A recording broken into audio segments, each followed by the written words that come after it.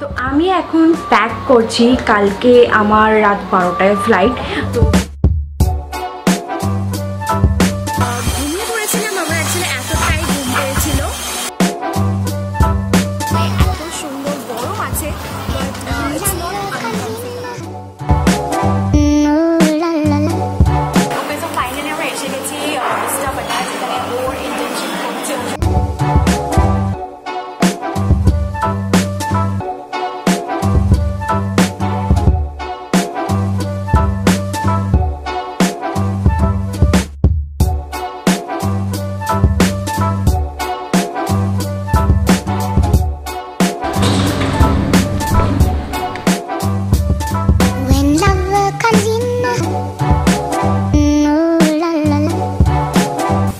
Indian খেলে না কেন?